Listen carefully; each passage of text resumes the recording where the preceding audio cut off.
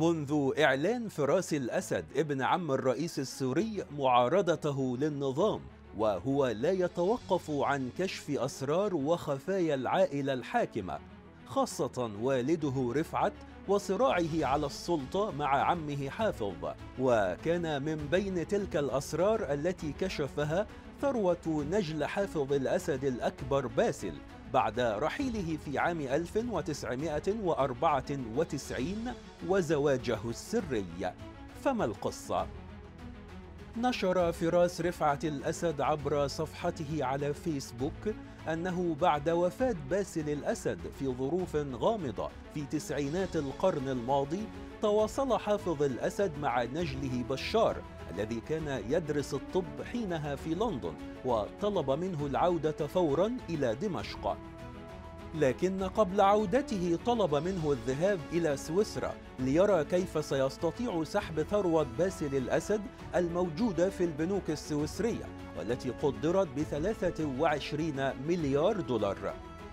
وأكد فراس أنهم تمكنوا من استرجاع أموال باسل من خلال سفير سوريا السابق في الأردن بهجة سليمان حيث جاء في تقارير سرية أن النظام السوري استطاع استعادة أموال باسل الأسد بعد وفاته في عام 1994 من البنوك السويسرية عن طريق تزوير أوراق زواج باسل من ابنة بهجة سليمان.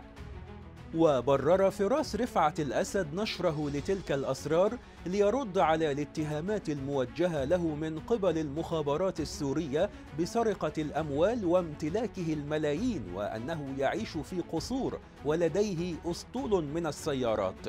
إذ نفى فراس كل تلك التهم تماما وأشار إلى أنه يعيش حياة بسيطة مع عائلته وأولاده الأربعة في منفاه في أوروبا. وبين الحين والآخر يقوم فراس الأسد بنشر أسرار النظام السوري عبر صفحته على فيسبوك. وتحظى تلك المنشورات باهتمام بالغ نظرا لكون فراس من أصحاب العلاقات المباشرة مع النظام. وغالبا ما تثير منشورات فراس غضب دريد الأخ الأكبر له حيث يرد على شقيقه بإنكار ما يكتبه عن جرائم أبيه.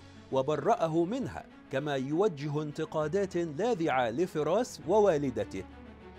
وسبق وكشف فراس أن سبب ثراء عائلة الأسد وخاصة أشقائه الذكور في سوريا من خلال حصولهم على مئات الملايين وبيعهم الآثار السورية المحفوظة بصناديق منذ سنين طويلة. وتحدث كذلك عن طمع والده رفعة الأسد حيث روى كيف عقد والده مع عمه حافظ الأسد صفقة إثر صراعهما على السلطة في عام 1984 والتي انتهت بتحويل حافظ 100 مليون دولار من البنك السوري المركزي إلى حساب رفعت في سويسرا مقابل تخلي والده عن السلطة وشراء حافظ السلطة والوطن على حد تعبيره.